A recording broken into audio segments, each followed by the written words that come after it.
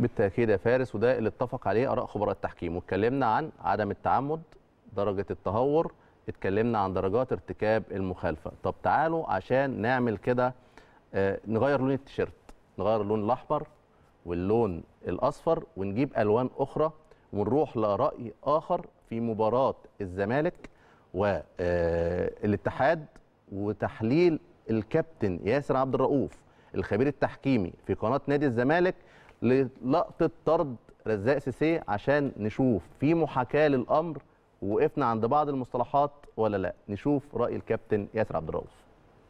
إحنا عندنا هنا بنتكلم دايما في مراحل المخالفه بنتكلم فيه إهمال تهور استخدام قوة زايدة. تمام؟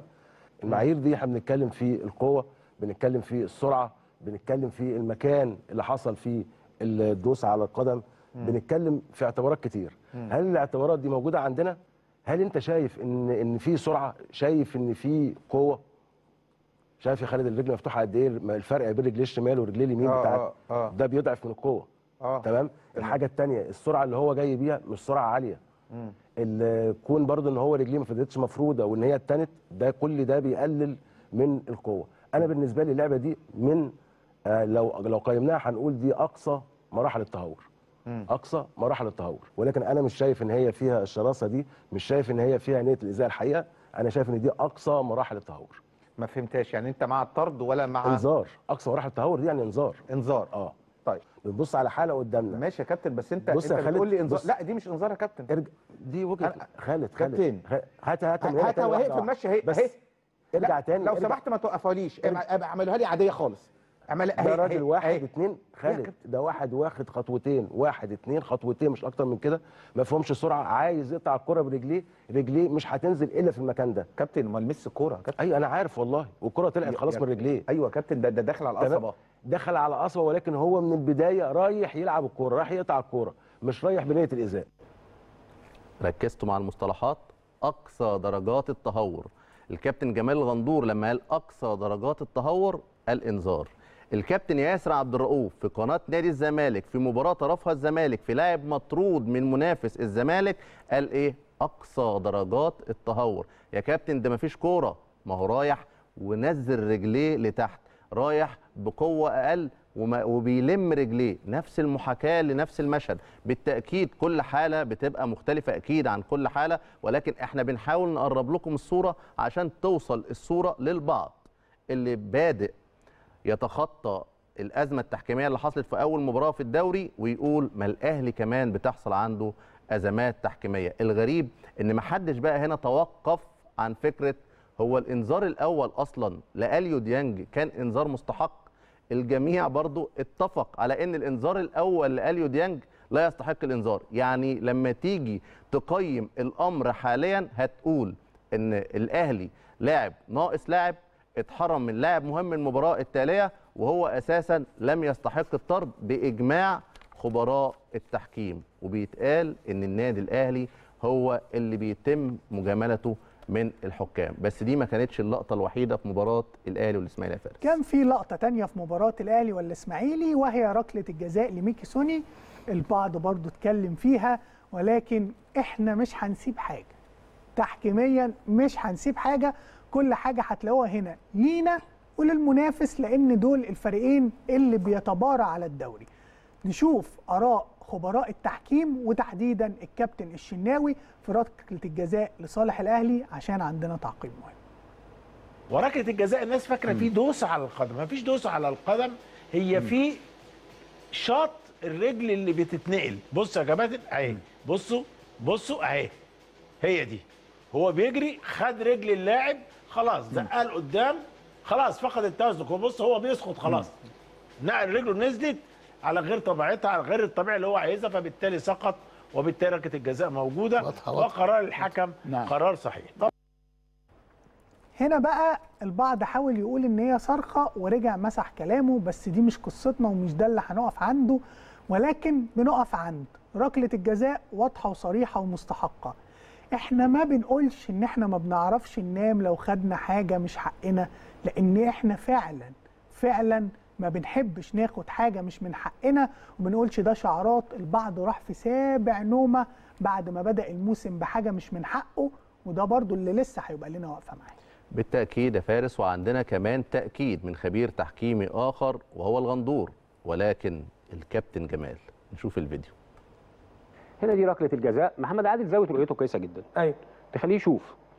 وفي نفس الوقت لم يتردد في احتساب ركلة الجزاء. وبعد كده حصل تأكيد من حكم الفار. لأنه كل القرارات آه بص شفت المسك المسك طبعا ده آه، يعني إيه؟ أهو. الإيد أهي اللي باينة قدامنا ده ولا الإيد آه. خلاص. المسك واحدة من الأخطاء ال- ال- ال- اللي بيعاقب عليها القانون بركلة حرة مباشرة. داخل منطقة الجزاء ركلة جزاء. إذا واضحة جدا الحالتين اللي حصلوا في مباراة النادي الأهلي والنادي الإسماعيلي حالة طرد أليو ديانج إنذار مستحق والإنذار الأول لم يكن مستحق والبعض روج لفكرة أنه كان يتم طرده طرد مباشر. الحالة الثانية وهي ركلة الجزاء وأعتقد الكابتن أحمد الشناوي والكابتن جمال غندور اتكلموا عن صحة ركلة الجزاء. لكن في نقطة مهمة شغلت آراء جماهير النادي الأهلي وهي فكرة إن الكرة دي ميكيسوني أصر إن هو يلعبها لبيرسي تاو وكان موجود فرصة محققة.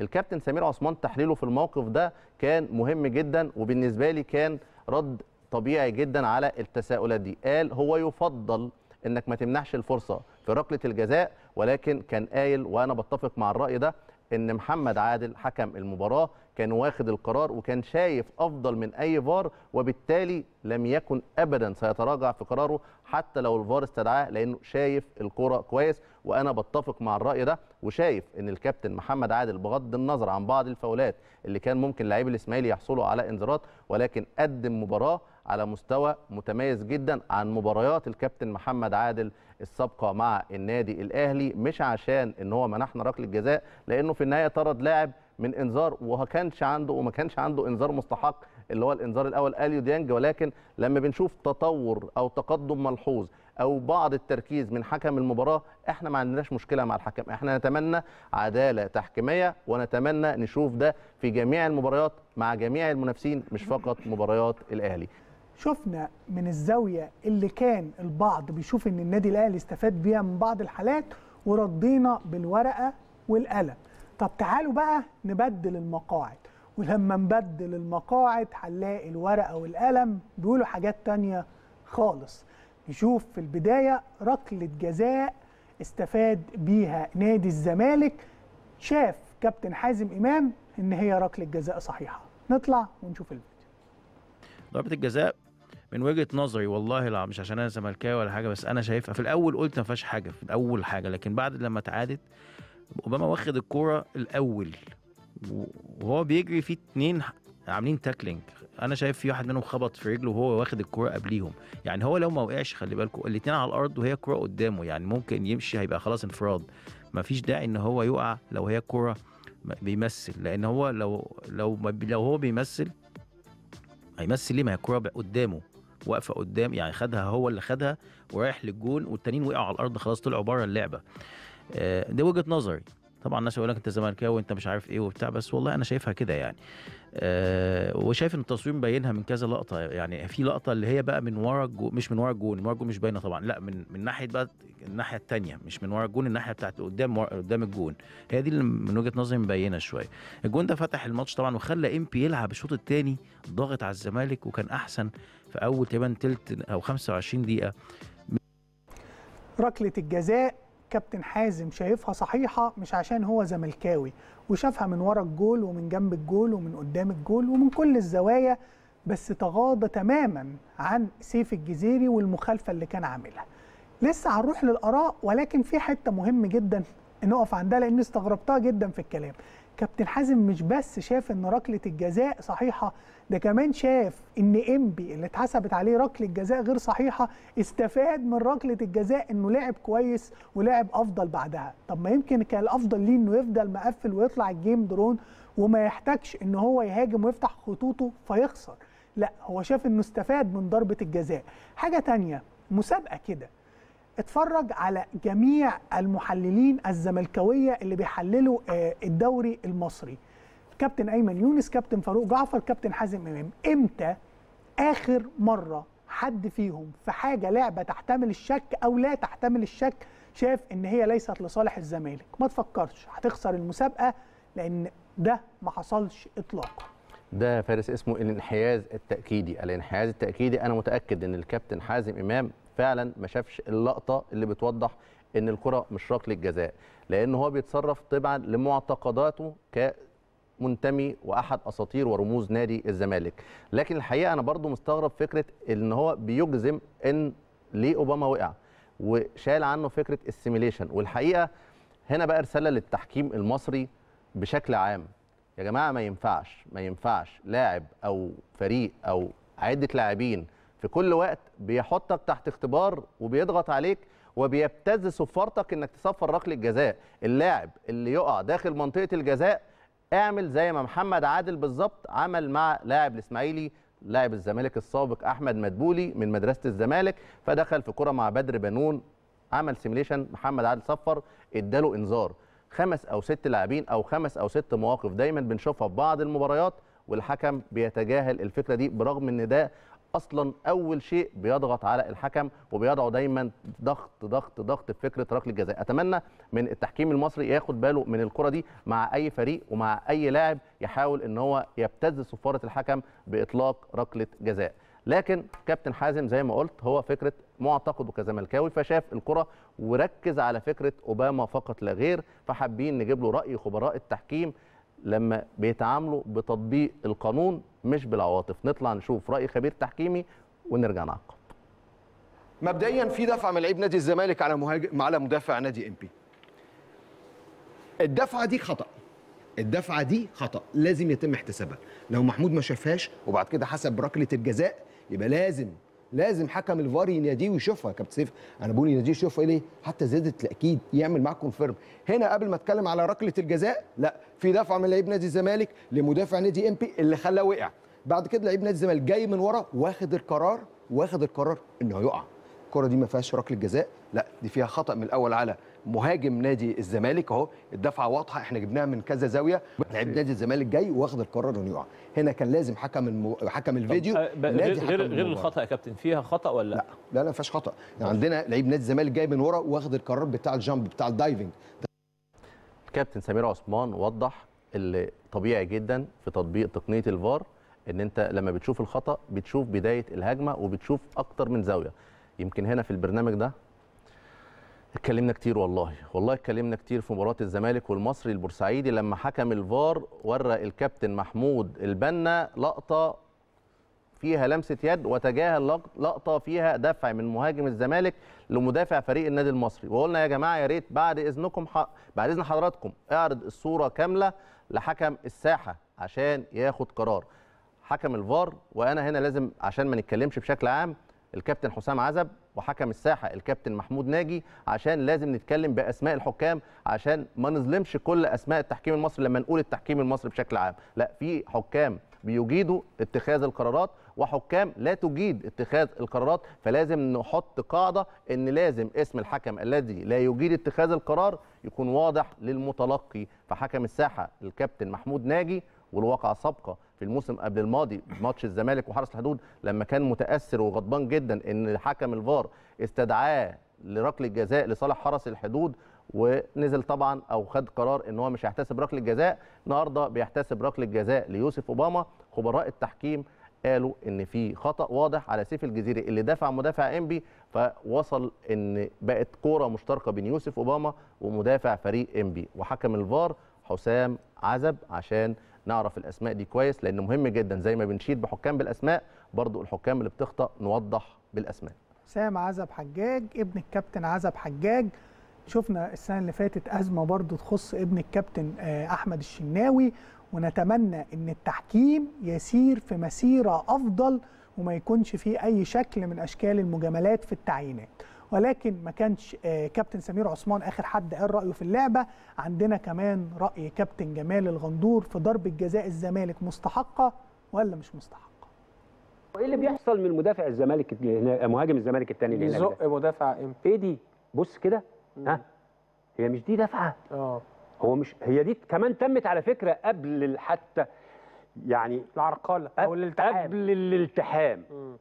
اذا لو أنا في التحام ولو في فعلا ركلة جزاء لابد إن أنا أرجع لل APP أرجع لمراجعة الحالة هلاقي قبليها كان في مخالفة وبالتالي هحتسب المخالفة.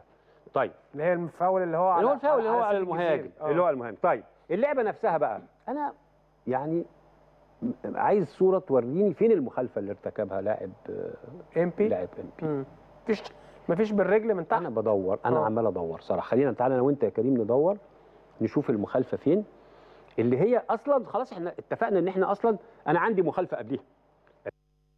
وصلت الراجل يدور على ركله الجزاء هو وكريم وأنا وأسامة قمنا ندور والفيديو شغال ومحدش لاقي حاجة. محدش لاقي حاجة غير حكم الفار وحكم الساحة وأعتقد لعبة محتاجة كتير جدا من الوقفات لأن السنة اللي فاتت شفنا 15 ركله جزاء بيستفيد بيهم الزمالك. المرة دي يبدو إن البعض في طريقه 15 هو نقطة. يكسر آه، الرقم القياسي لنادي الزمالك ويحقق عدد ركلات جزاء وعدد نقاط أكتر نتيجة أخطاء تحكيمية. عايزين وقفة وعايزين يكون في تحكيم أفضل. خلينا بس نأكد 15 15 نقطة وليس 15 ركلة جزاء. ولكن طيب ده الكابتن سمير عثمان آه، والكابتن جمال الغندور. لكن تعالوا بقى نشوف كمان الكابتن ياسر عبد الرؤوف من داخل قناة نادي الزمالك. رأيه إيه في الكرة بتاعه أوباما دي؟ نشوف الفيديو. عشان بعض الناس في قالوا إنها مش ضربه جزاء أو إنها ضربه جزاء إحنا ظالمه إحنا قدامنا صورة هنتكلم بالصورة ونشوف. في في مدافع وفي مهاجم. آه. تمام؟ ننسى بقى أوباما شوية ونركز على الاثنين اللي هناك اللي قدامنا اللي هو الجزيري ومدافع آه إنبي. تمام. ونمشي ونشوف إيه اللي هيحصل. الإيد دي يا كابتن طارق معلش نقف. الإيد دي هل هي فيها دفع ولا ما فيهاش دفع؟ ها إيه رأيك؟ بس هو لم يتأثر اللاعب يا كابتن أنا حتى لو أنا سؤالي يعني أنا أنا أنا, سؤالي يا كابتن طارق تمام؟ في دفع ولا ما فيش دفع؟ يعني خفيفة. يعني في دفع. خفيفة. تمام. مش مش دفع يعني اللي يبقى هو في يبقى هنا زي يبقى هنا يبقى هنا كده. رقم واحد رقم واحد آه. في دفع على مهاجم الزمالك. واضح طبعا إن في نزول بالمقعدة وطبعا فريق. ده إهمال. ما هو مش قصده إن هو يعمل كده ولكن طبعا ده نوع من أنواع الإهمال. المخالفة موجودة؟ آه المخالفة موجودة. مم. آه في آه ركلة جزاء على المخالفة. آه في ركلة جزاء. ولكن أنا المفترض بيا كحكم فار إن أنا براجع على حاجة اسمها اي بي بي اللي هي مراحل بناء الهجمة. هل كان في مخالفة قبل كده ولا لأ؟ كان في مخالفة قبل كده على آه الجزيري. فالمفترض إن هو يقول للحكم في مخالفة من المهاجم قبل ما المدافع يرتكب مخالفة ضد المهاجم زميله. لو رجعنا على اللعبة بالشكل ده وخرج محمود ناجي وشاف إن في دفع ركلة الجزاء هتتلغي وهيحسب مخالفة على المهاجم. كابتن طارق في دفعة خفيفة يعني الراجل ما ماتش يعني ده ده, ده دفعة خفيفة. بس أنا عاجبني إن الكابتن طارق جاب اللقطة للكابتن ياسر عبد الرؤوف. الموسم الماضي في مباراة الزمالك والمصري كان الكابتن ياسر عبد الرؤوف مع مقدم برامج آخر. قعد تقريبا أسبوعين يدور على لقطة اتبعتوا لي ركلة جزاء الزمالك والمصري عشان أتكلم عليها وتقريبا من السنة اللي فاتت ما جاتلوش اللقطة. فحسنا فعلا الكابتن طارق يحيى إنه جاب للكابتن ياسر عبد الرؤوف اللقطة اللي واضح فيها إن في خطأ قبل ركلة الجزاء فبالتالي كان ده قرار أو رأي الكابتن ياسر عبد الرؤوف. وأعتقد ده واصل بشكل كبير جدا للكابتن حازم إمام إن ركلة الجزاء ليس لها أي محل من الصحة. بس الأهم يا فارس إن إحنا هنا في البرنامج عندنا عينين. بص يعني أحدهم قاعد بيتفرج علينا عشان يهاجم كالعادة ومستني يقول بص جابوا ضربة الجزاء اللي للزمالك وقالوا إن فيها شك بس ما جابوش ضربة الجزاء اللي للزمالك لأ إحنا هنا بنتعامل مع مسألة التحكيم بشكل كامل. بنستعرض الأخطاء اللي للمنافس أو على المنافس واللي لينا واللي علينا. عشان كده نستعرض كابتن ياسر عبد الرؤوف نفسه وهو بيتكلم عن ركلة جزاء لزيزو لم تحتسب لصالح نادي الزمالك. نطلع ونشوف الفيديو. وعايزين نقول النهارده آه، المدافع راح يلعب الكوره ولا هو رايح يعمل حاجة تانية غير لعب الكوره؟ المهاجم؟ المهاجم زق الكوره تمام؟ رأيي أنا. ال- المدافع راح لجسم اللاعب. بالظبط كده يا كابتن طارق. جسم المهاجم. آه، إحنا النهارده بنتكلم إن المهاجم زق الكوره خلاص والمدافع مش رايح في اتجاه الكوره. أنا كان ممكن أروح في اتجاه الكوره لو أنا خدت المهاجم في ظهري وكملت عليها. مم. ولكن هو رايح يعمل إعاقة تمام؟ ودي اسمها إعاقة أو منع تقدم الخصم. يعني واضح ضربة طبعا جزاء. ركلة جزاء. ضربة جزاء. ما آه. اتحسبتش. ما اتحسبتش. وكان يجب على حكم الفار إن هو يتدخل فيها. بعض الناس ممكن تقول مش هي دي اللي يتحسب عليها ركلة جزاء. ممكن وإحنا في الملعب ما بنحسهاش الإحساس ده. ولكن إحنا طالما عندنا صورة وعندنا تقنية فار وعندنا إن الراجل ما راحش على الكورة وبدأ إن هو يروح على جسم المهاجم حتى لو المهاجم بالغ في السقوط لا هو ياخد المخالفة بتاعته. ركلة جزاء غير محتسبة وكان يجب على حكم ال- الفار إن هو يتدخل ويدي نصيحة لحكم الملعب إنه يشوفها زي ما إحنا شايفينها كده. يمكن آه لو تحلى الجميع بضمير الأهلي خط أحمر عرضنا اللي للزمالك واللي على الزمالك ولكن في حاجات بقى تانية يا أسامة محتاجين نقف عندها لأن بما إن البعض اتكلم عن إنذار وطرد دياني إحنا بنقيم فعندنا إنذارات كتير جدا. بالظبط. لا وبنقيم بنقيم الحالة التحكيمية نفسها الحكم الساحه الكابتن محمود ناجي والحكم حسام عزب من يتحمل أخطاء حكم الساحة ويتحمل أخطاء حكم الفار في القرارات اللي المفترض يتدخل فيها الفار. ولكن للأمانة إحنا جبنا الكابتن ياسر عبد الرؤوف لأن الكابتن أيضا سمير عثمان والكابتن جمال الغندور قالوا إن في ركلة جزاء لزيزو. ولكن للأمانة بما إننا بنتكلم في كرات زي دي في كره شبيهة جدا. بيرسي تاو أعتقد مع مروان صحراوي تقريبا في الدقيقة 51 مروان صحراوي ما نجحش في إنه يلعب الكرة وارتطم بقدم بيرسي تاو وسقط بيرسي تاو ولم يتحدث أحد إن دي زي دي. ولكن خلينا نكمل في مباراة الزمالك وإنبي. أصبح الآن الحكم مخطئ هو وحكم الفار في احتساب ركلة جزاء غير صحيحة والتغاضي عن ركلة جزاء صحيحة. ولكن الإنذارات موقفها إيه؟ وهل هيبدأ يكون عندنا حصانة للاعبين ضد الطرد من بداية الموسم؟ تعالوا نشوف الفيديو ده والخبير التحكيمي ونرجع نعقب. في مسك في مسك من طارق حامد ل- للاعب آه، إنبي. طيب. مرسي. إحنا بنقول إن إن المسك عشان أطلع له إنذار حاجتين يا إما منع هجمة واحدة يا إما إن أنا بمسك بشكل صارخ. تمام؟ هجمة واحدة لا ما أعتقدش ان إحنا لو فتحنا الصورة شوية هنلاقي إن في مهاجم واحد بس من إنبي هو اللي موجود وفي أكتر من مدافع. ولكن المسك بالشكل ده ده مسك صارخ بالتالي كان يستحق عليه طارق إنذار. للمسك الصارخ مش لإفساد هجمة واحدة أدي مسك بالإيد كمل كمل. تمام؟ وهو مصمم على المسك وبعدين بالإيد الثانية كمان. آه محمود شاور ركله مره وبعدين ادانا انطباع إن هو بيحذر المهاجم إن أنت ما تكررش الكلام ده أو ما تعملش كده تاني واللعيبة بتطالبه إن هو يديله إنذار ولكن المخالفة موجودة. والإعاقة موجودة وكان في إفساد لهجمة واحدة بالتالي كان المفترض هنا القرار إن يبقى في مخالفة لإنبي ومعاها كمان إنذار لإفساد هجمة واحدة والحقيقة ده ما حصلش الكابتن محمود ناجي أول حكم مصري في أول مباراة يمنح حصانة لطارق حامد من الطرد وكمان للمسلوسي كابتن طارق حامد في الدقيقة 17 انذار واضح جدا ورؤية الحكم واضحة جدا وفي إصرار على الخطأ. مرة واثنين وثلاثة والكابتن محمود ناجي ما طلعش الانذار للاعب مركز ستة في لأن الدقيقة 17 وده ممكن يحجمه.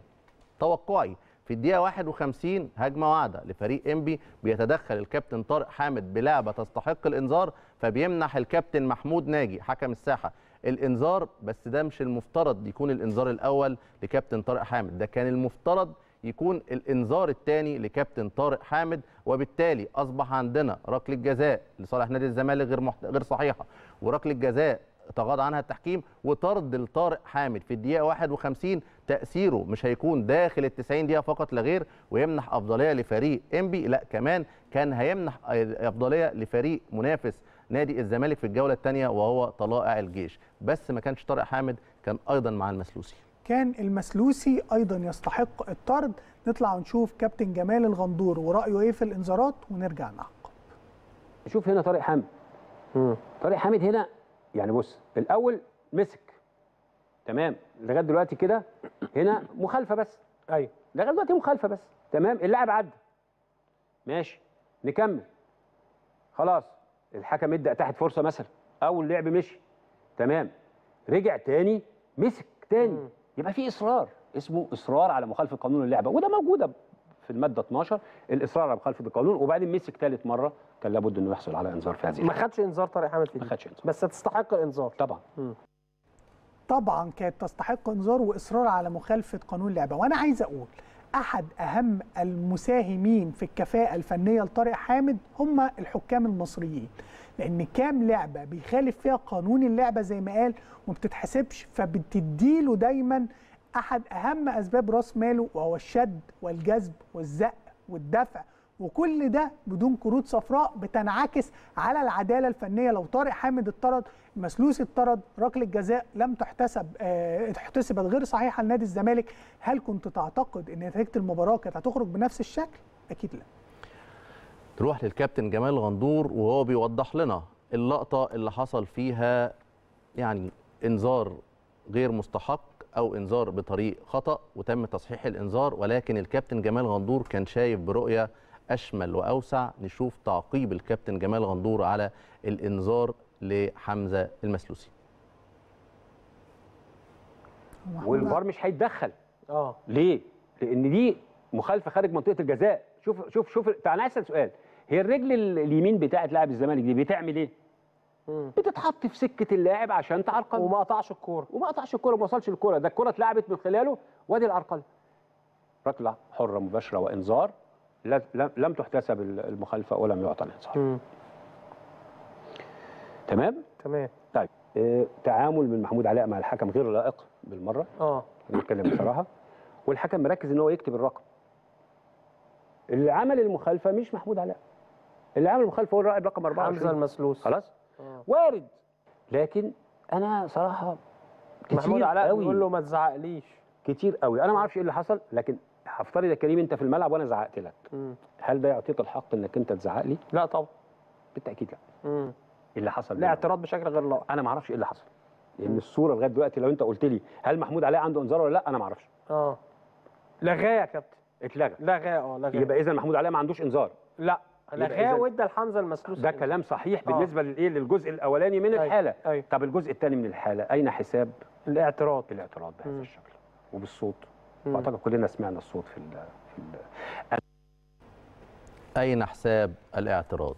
الكابتن محمود ناجي إزاي وافق إن هو يشوف لاعب يتعامل معاه بهذه الطريقة ولا يأخذ أي قرار إداري تجاه الكابتن محمود علاء إذا إحنا عندنا في المباراة دي ركلة جزاء غير صحيحة تم احتسابها حكم الساحة محمود ناجي حكم الفار حسام عزب ولازم أذكركم دايما بالأسماء عشان إحنا هنشيد بالحكم الجيد وهنقول أسماء الحكم المخطئ في قراراته. نختار أفضل حكم. كمان مع نهاية الموسم. بالظبط. ال- النقطة الثانية والمهمة جدا في طرد مستحق لطارق حامد في الدقيقة 51 لو كان تم تطبيق القانون في الدقيقة 17 ومنحه انذار بآراء خبراء التحكيم وعلى رأسهم الكابتن ياسر عبد الرؤوف من قناة نادي الزمالك. النقطة الثالثة طرد مستحق لحمزة المسلوسي اللي كان يستحق انذار في كرة آه، مع لاعب انبي في هجمة واحدة والكرة الأخيرة اللي خد فيها الانذار بعد ما تراجع عن منح محمود علاء ومنحه لحمزة المسلوسي أدي الثاني لاعب كان المفترض يطرد. الثالثة هنسيبها لاختيارات الجمهور هل من وجهة نظركم محمود علاء كان يستحق الطرد بعد الحالة أو الصورة اللي شفناها مع الحكم محمود ناجي. ده تساؤل بنطرحه لحضراتكم عشان نطلع من مباراة. البعض بيتكلم عن مباراة الأهلي والإسماعيلي بمباراة فيها ركلتين جزاء قرارات خاطئة وثلاث لاعبين اتنين على الأقل بتطبيق القانون كان لازم يطردوا من نادي الزمالك هما طارق حامد وحمزة المسلوسي. ولكن الكابتن محمود ناجي أعتقد كان له رأي فيه حصانة لبعض اللاعبين من الطرد.